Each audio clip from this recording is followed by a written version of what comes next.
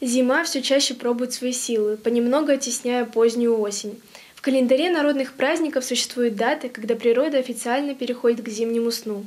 В ночь с 31 октября на 1 ноября отмечается Велесова ночь. Для многих ночь с 31 октября на 1 ноября ассоциируется с Хэллоуином, западным праздником в канун Дня всех святых.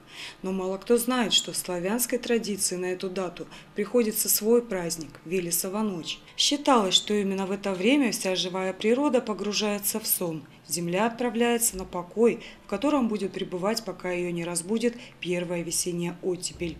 Все работы в огороде и поле к этому дню должны быть завершены.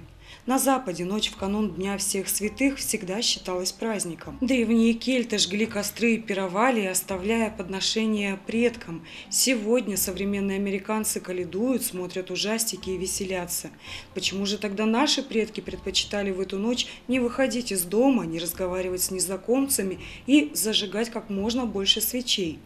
Славяне верили, что помимо нашего мира, мира Яви, существует и мир Нави, мир духов, злых и добрых.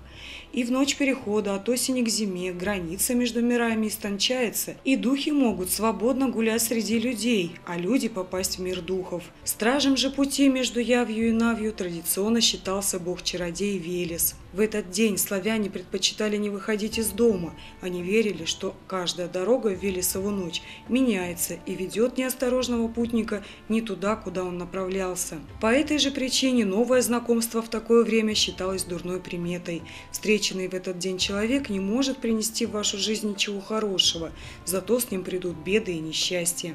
Велесову ночь наши предки предпочитали проводить в кругу семьи. Зажигались праздничные свечи, защищающие от злых духов.